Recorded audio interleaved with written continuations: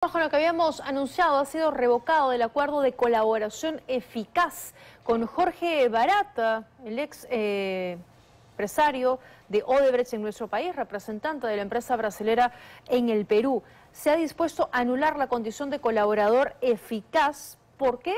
Porque no declaró en el juicio que se sigue contra el expresidente Ollanta Humala y su esposa Nadine Heredia. Tras esta medida, no podría testificar contra otros eh, juicios, como por ejemplo el caso de Keiko Fujimori.